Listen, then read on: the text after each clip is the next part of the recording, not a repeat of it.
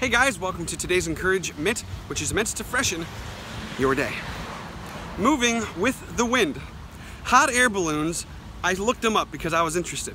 They move with the wind. I saw um, an interview with a pilot of a hot air balloon and the interviewer said, how come we're 200 feet up and I feel no breeze? There's no wind. And the hot air balloon pilot said, we are the wind. We're inside of it. It's pushing us. And because we're moving with the wind, we don't feel anything. It's totally stable and, and it seems like it's there's no breeze.